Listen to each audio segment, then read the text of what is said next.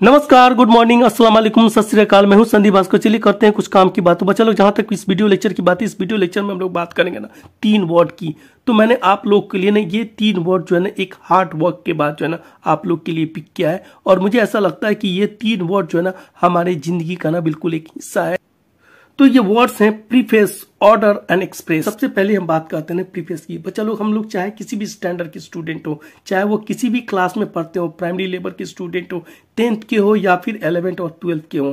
Preface एक ऐसा word है जो कि जब भी हम अपने टेक्स्ट बुक को ओपन करते हैं ना तो फ़र्स्ट फ्यू पेजेस पे ही मिलने वाला ये वर्ड है।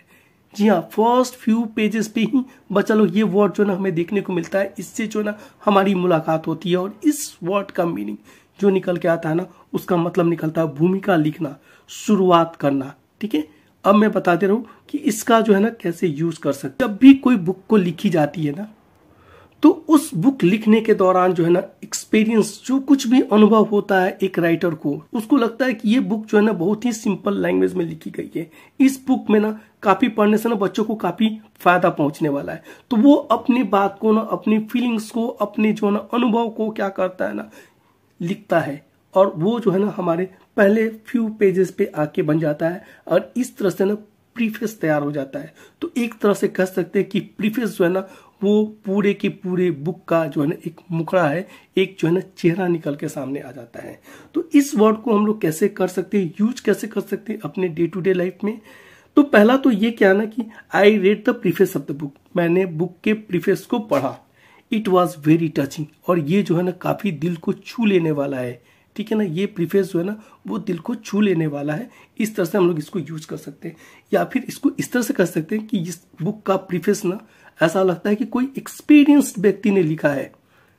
तो कुछ इस तरह से भी हम लोग इसको यूज़ करते हैं। अब रही बात जो है ना, जहाँ तक इसको जो है ना अपनी दिनचर्या में लाने का यानी कि इसको जो है ना अपने डे टू डे यूज़ में कैसे ला सकते हैं। बिल्कुल बच्चा लोग, इस यूआर्ड को ना हम अपने डे टू डे लाइफ में भी ला सकते हैं। तो हम बता रहे हैं कैसे? देखिए, क्या है ना, जब भी हम बात करते हैं ना किसी से तो अक्सर हमारे बात जो है ना, वो शुरुआत होता है नमस्कार से गुड मॉर्निंग से, अस्सलाम वालेकुम से, सत श्री अकाल से गुड आफ्टरनून भी होता है कई बार, ठीक है? तो ये डिपेंड करता है कौन सा वर्ड को हम लोग यूज़ करते हैं। लेकिन हाँ जब भी हम लोग कह सकते हैं ना तो इस बात को हम लोग कह सकते हैं कि we always preface our conversation with नमस्कार गुड मॉर्निंग वालेकुम एंड सत श्री अकाल ठीक है ना? इन सारे वर्ड से, ये जो ग्रीटिंग्स के वर्ड है ना, इन सारे वर्ड से हम लोग जो है ना, अपने कन्वर्सेशन का, यानी अपने बातचीत का ना प्रीफेस करते हैं, यानी कि शुरुआत करते हैं। तो इस तरह से भी हम लोग इसको यूज़ कर सकते हैं। अब देखिए कुछ इस तरह से भी यूज़ कर सकते हैं कि आवर डिफिट में भी a preface to your victory ठीक है ना? मतलब कि मेरा जो है ना, हार जो है, यानी आपके जीत का शुरुआत भी हो सकता है।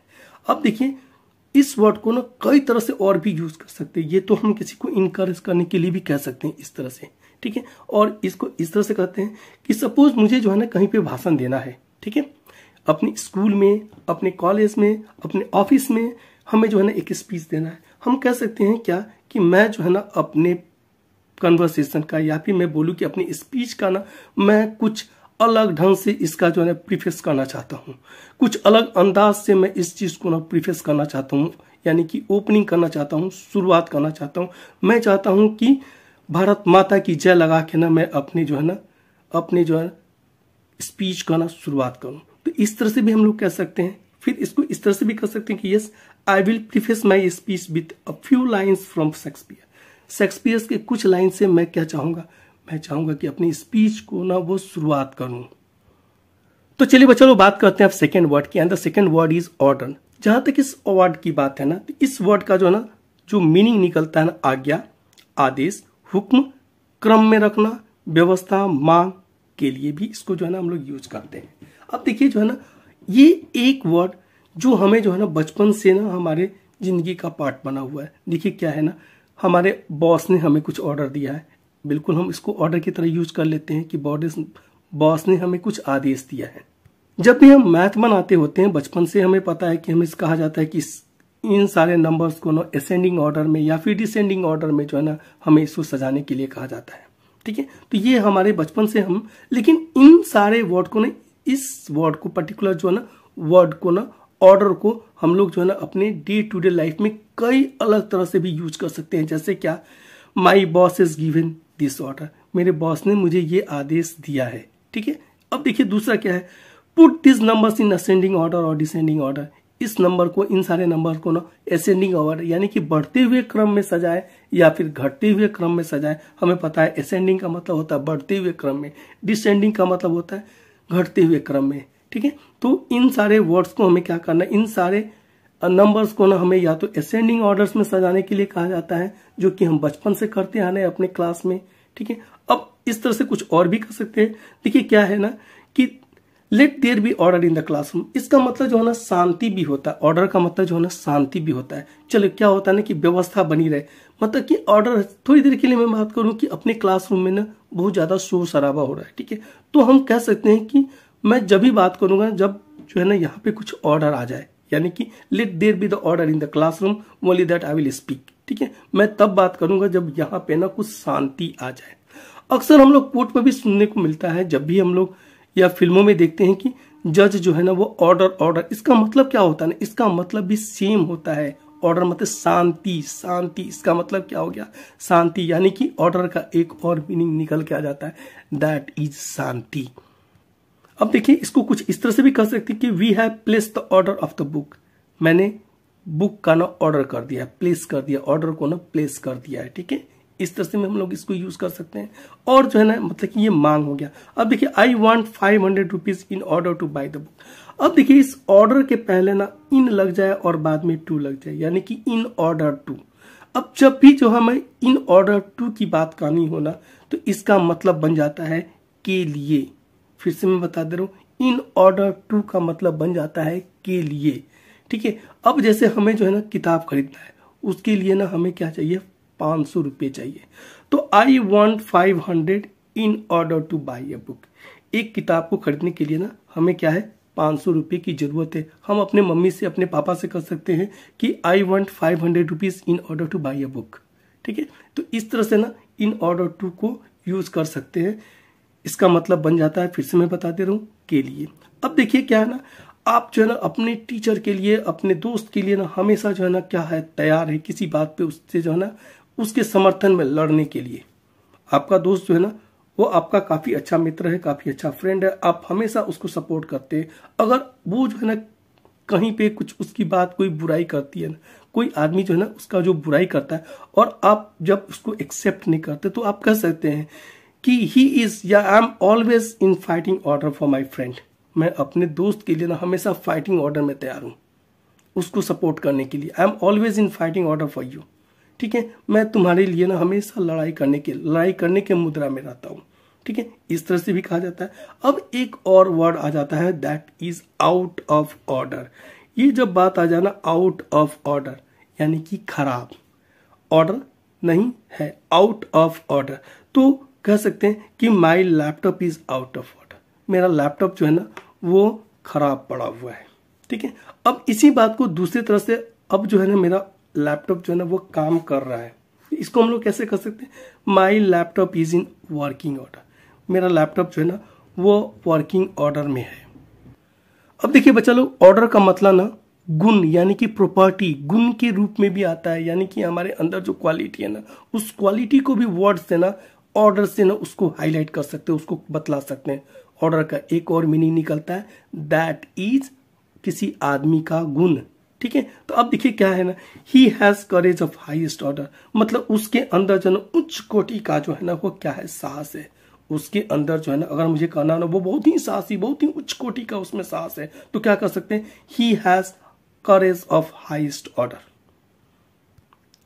अब जो है ना, अगला वर्ड जो है ना, इस वर्ड को ना ऑर्डर को कुछ इस तरह से भी यूज़ कर सकते हैं कि first we must order our affairs in word better first we must order our affairs better मतलब जो है ना, हमें अपने मामलों को बेहतर ढंग से व्यवस्थित रखना चाहिए।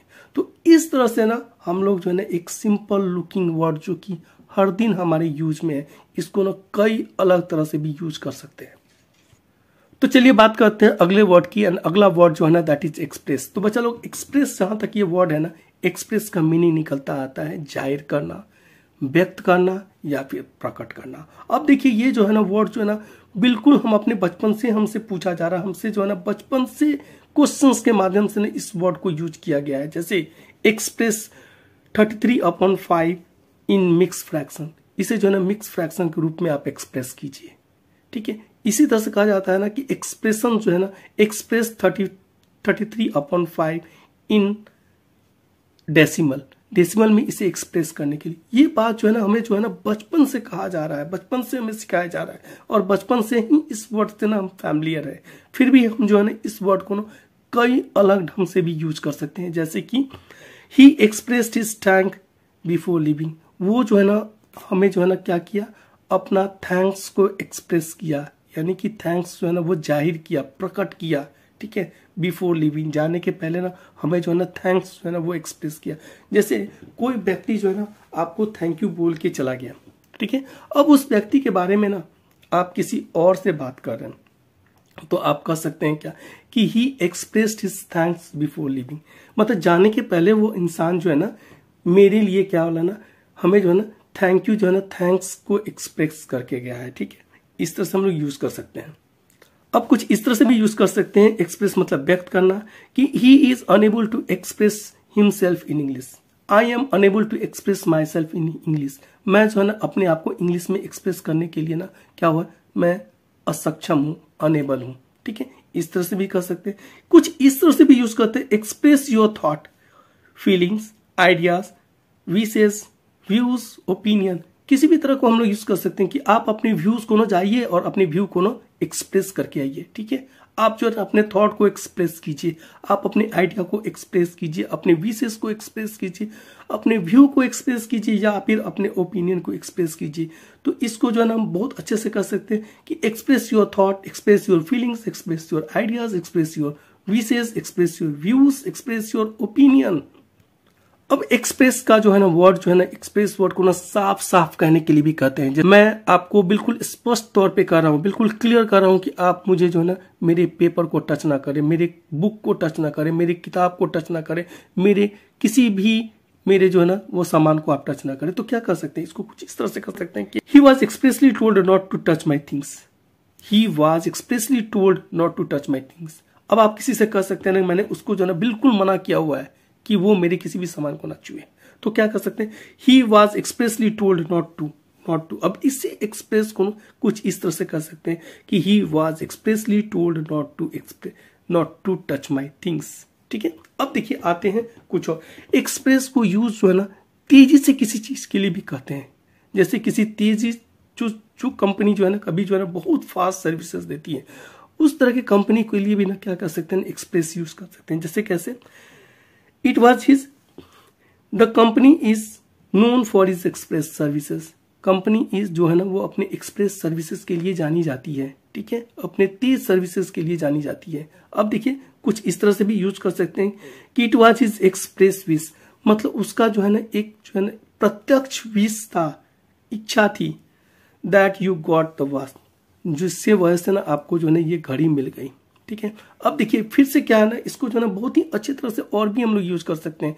मैं आपसे कह सकता हूँ कि आप किसी अपने भाई से कह सकते हैं, अपने किसी जानने वाले से कहते हैं कि आप में जो है ना टैलेंट है गो एंड एक्सप्रेस योर आप जो है एग्ज़ाम देने जा रहे हो, कोई बच्चा घबराया हुआ आप कह सकते हैं कि you have talent you have studied ठीक है ना? आप जो है ना, काफ़ी मेहनत की है, आप काफ़ी पढ़ाई की है गो एंड एक्सप्रेस योर जाइए और अपने आप को एक्सप्रेस कीजिए।